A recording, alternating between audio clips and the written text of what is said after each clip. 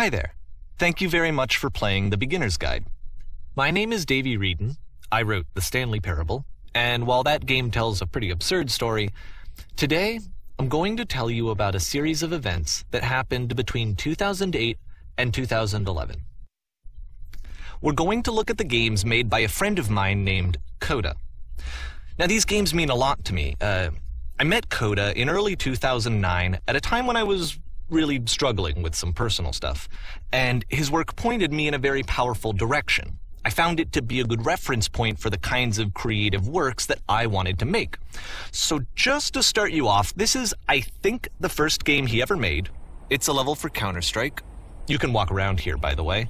And uh, mostly it's just Coda learning the basics of building a 3D environment. But what I like is that even though he starts from the simple aesthetic of a desert town, he then scatters these colorful abstract blobs and impossible floating crates around the level. And of course, it destroys the illusion that this actually is a desert town, and instead this level becomes a kind of calling card from its creator. It's like a reminder that this video game was constructed by a real person. And it kind of makes you wonder, what was going through his head as he was building this? This is what I like about all of Coda's games. I mean, not that they're all fascinating as games, but that they are all going to give us access to their creator. I want us to see past the games themselves. I want to get to know who this human being really is. And that's exactly what we're going to do here. So, it's 2008, Coda starts making these games, and he never releases any of them. He doesn't put them onto the internet, he just makes them and then immediately abandons them and they sit on his computer forever. And I think he really understood this image of himself as a recluse. Uh, at one point, he jokingly renamed his computer's recycling bin to Important Games Folder. So, you know, this was just how he worked. He tended to crank them out one after the other without even really pausing to try to understand what he had just made, until suddenly one day, he just stopped. In 2011, that was it. He made his last game and then he hasn't made another one since. And that's why I've taken this opportunity to gather all of his work together, is because I find his games powerful and interesting, and I'd like this collection to reach him, to maybe encourage him to start creating again. And if the people like you who play this also happen to find his work interesting, then I'm sure it'll just send that much stronger of a message of encouragement to Coda. So thanks for joining me on this. If you have a particular interpretation that I haven't mentioned here, or if you just need to get in touch, you can email me at d-a-v-e-y-w-r-e-d-e-n at gmail.com. Okay, that's about it for introduction. Let's take a look at Coda's first proper game. As each game is loading, I'll show you the date that it was completed. This first one was made in November 2008.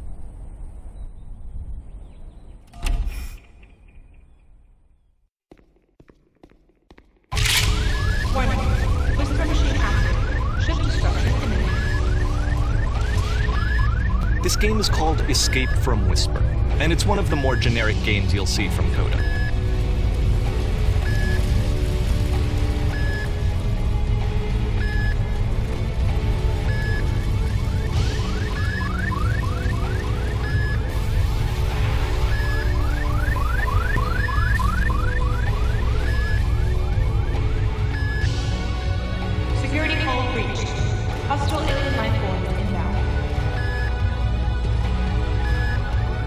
It kinda looks like this game was abandoned mid-development.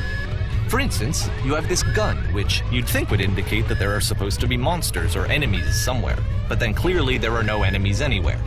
You can't even reload the gun when you run out of bullets. But ultimately, we don't really know. Maybe Coda thought that actually it was complete the way that it is. And I think that we should talk about his games for what they are, rather than for what they're not. Enemy force neutralized. Begin ship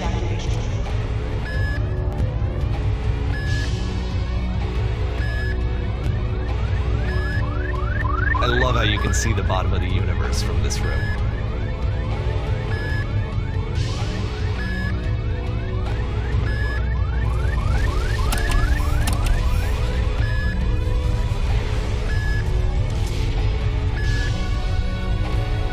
Apparently, this space station has a labyrinth on it.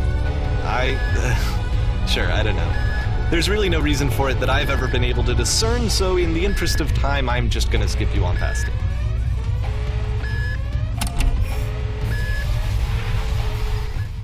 This is the part that's interesting. The game has this narrative about the whisper machine and how it has to be turned off, and then you get to the engine room.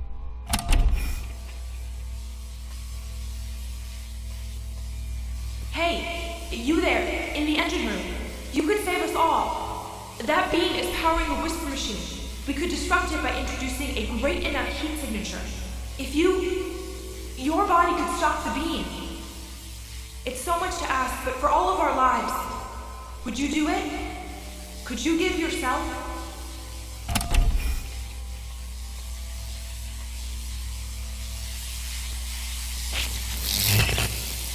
Let me pause here for a second. What you just experienced, stepping into the beam and then dying, is probably what Coda had initially intended when he was developing this level. But when he first compiles and plays it, something goes wrong. There's a bug somewhere. And this is what happens instead.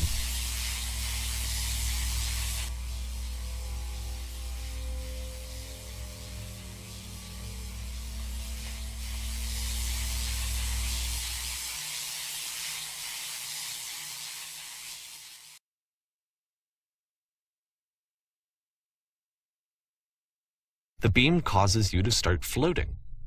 And this is an important moment for him. Because yes, this is technically a glitch, but Coda identifies something human about it, like how small it makes you feel in the face of this larger chaotic system. Or this floating could be the afterlife, a peaceful place, juxtaposed against all of the hysteria that you've just had to traverse. I, I don't even know. Uh, I have no idea what he was thinking, but what's clear is that after making this, something lodges itself in his brain. He wants to do more of these really weird and experimental designs. So he stops work on this and moves on to a stream of tiny little games that go in all sorts of directions. Let's go ahead and take a look at the first game he made after leaving this one behind.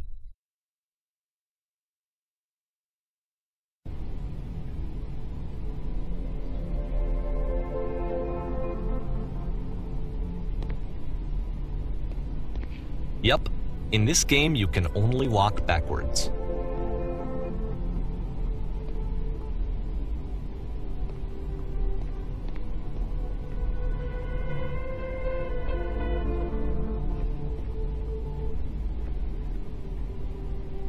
So it's a short and relatively minimalist experiment combining motion and narrative.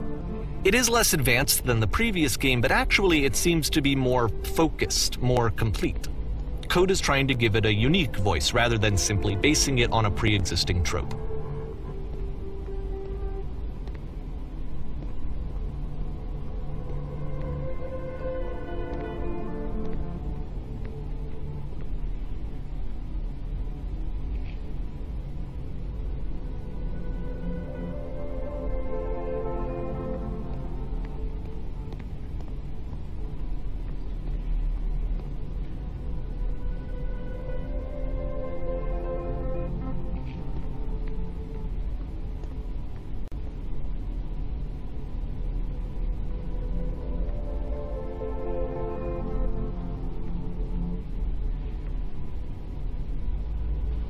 It's a short little thought, it says what it wants to say, and then it ends.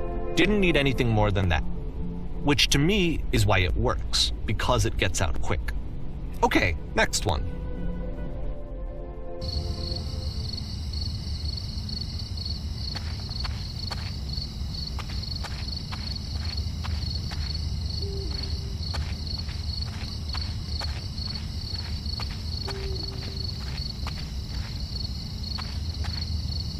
And that's it.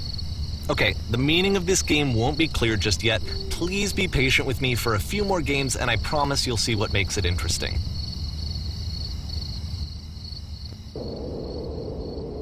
Oftentimes, Coda would put bizarre titles like this one at the start of his games.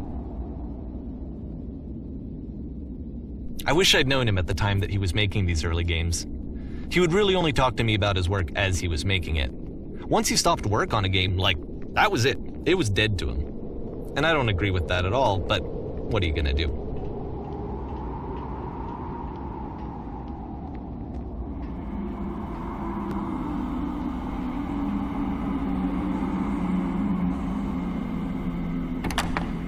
Once you've been slowed to an absolute crawl, the door at the top of the stairs opens. So why, if Coda's not showing these games to anyone, why bother opening the door at all? Well, to show you, I'm modifying the game here so that when you press enter, it'll bring you back up to full speed so you can enter the door for yourself.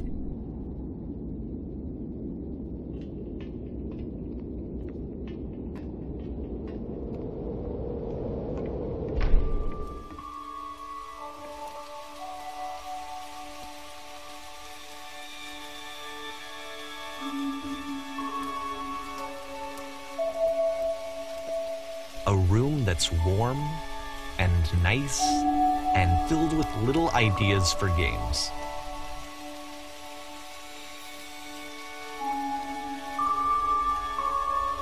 Coda would often tell me that he didn't mind if people thought of him as cold or distant. He said that he knew that he was actually a vibrant and compassionate person, but that it takes time to really see that. It can be a very slow climb to get there.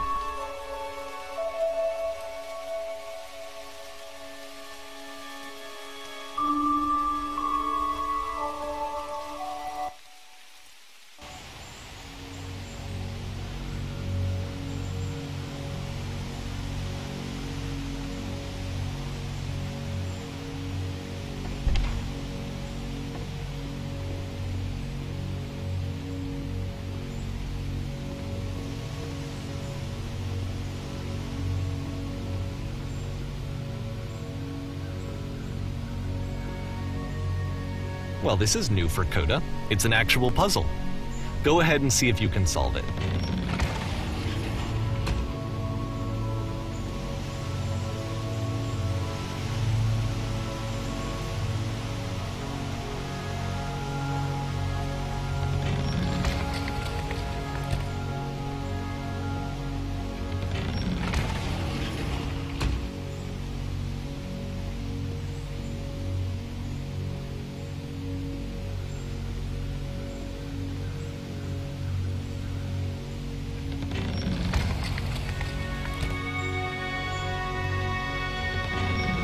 Forget that solution, because we're going to see this puzzle again soon. We're going to see it a lot.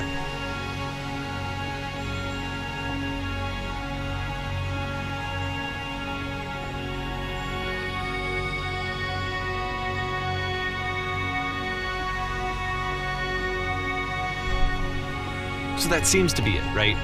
You walk down a corridor, you solve a puzzle, you get to the end. Simple enough. All right, now I'm going to modify the game again so that when you press enter, it'll remove all of the walls from this room.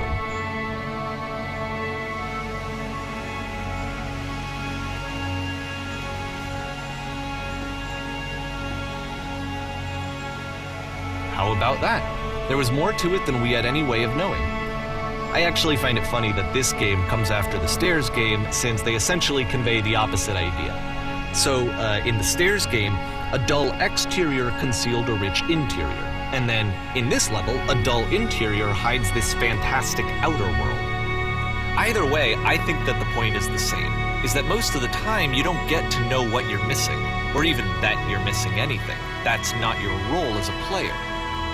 So if your role here is not to understand, then what is it?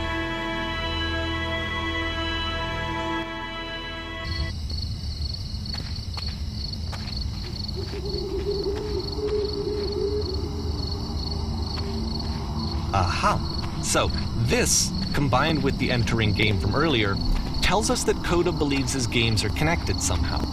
It could even be that the stairs game and the puzzle game are literally connected in between this and the entering game. There's a bigger picture that all of his games are meant to play a role in, some larger meaning that we won't be able to grasp until we've seen all of them. And once we have, we can step back and start to understand what exactly that bigger picture is.